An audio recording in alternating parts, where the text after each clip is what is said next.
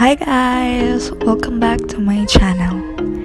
And sa mga bago welcome sa inyo.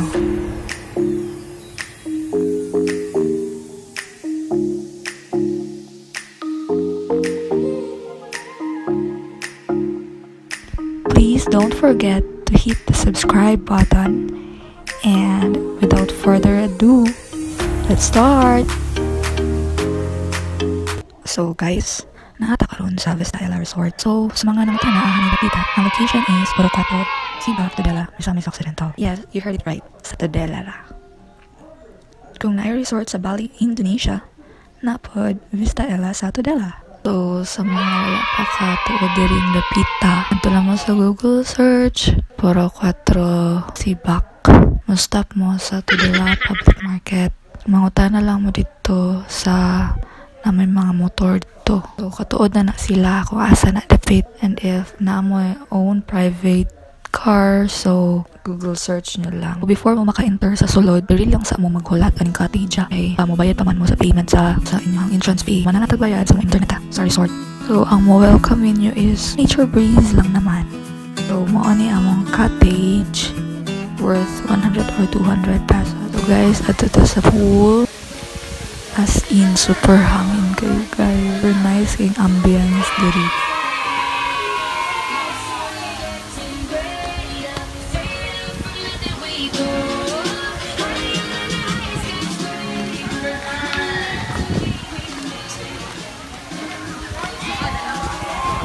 So nice. Wala pa kayo nangaligo. Kami pa yung first.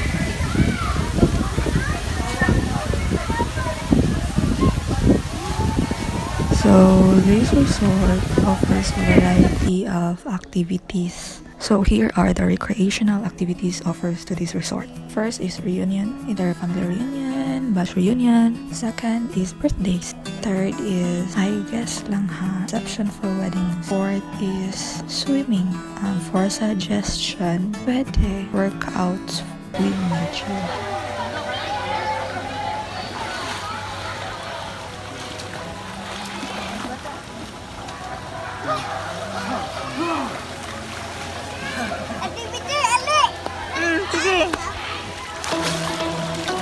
Daw, be.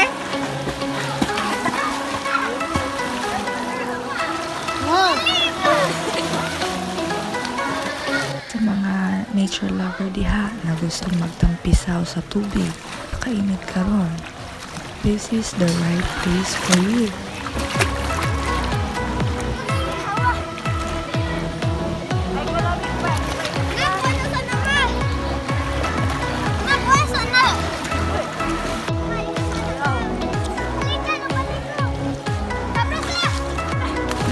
They have infinity pool, which consists of kiddie pool and also uh, sa mga adults, which is good for your photos. And kung gusto mo uh, mag-photoshoot, I guess pwede kayo. So, sa mga wala pa kani, here are the resort amenities. First is the parking area. So, na sila hawa na parking area. Second is the reception area. Third is the swimming pool. Fourth is they have sari sari store if na may palitan dito mga foods like na sila balyang swimming attire guys fifth is the function hall like sa birthdays meron silang function hall dyan reception sa weddings I guess reunions yan number six is they have also cottages so sa ilahang cottages estimated nga nabayad namo adto is 100 to 200 pesos I guess. So sa function hall, kindly contact na lang nila or much better adto mo resort jud mungutana.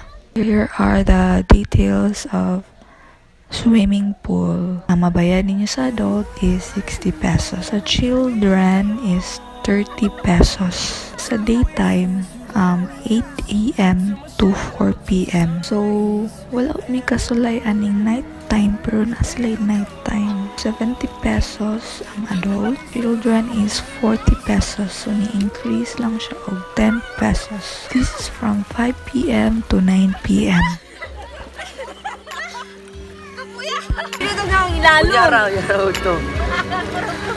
Yan, basta kontra. Bilis na. Sige. Mga ano ka ta?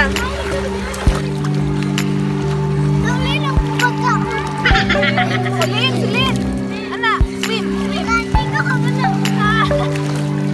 Ikaw na kay.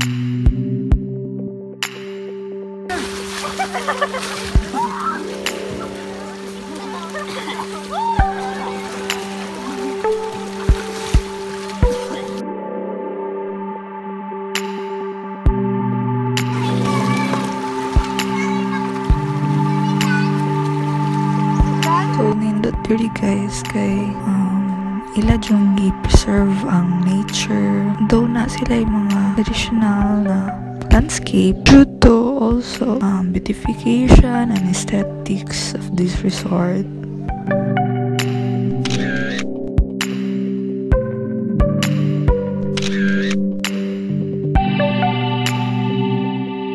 Please